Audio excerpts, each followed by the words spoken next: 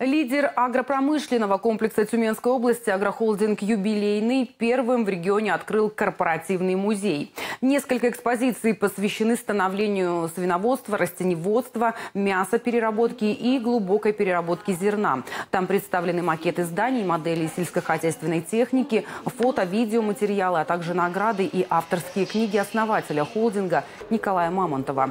Идея создания музея возникла еще пять лет назад, а воплотить ее в жизнь жизнь удалось к 45-летию предприятия. Сейчас большой запрос от э, общеобразовательных учреждений.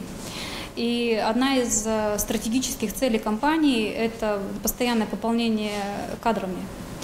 Поэтому профориентационные экскурсии на протяжении двух месяцев идут в режиме ну, по несколько экскурсий в неделю.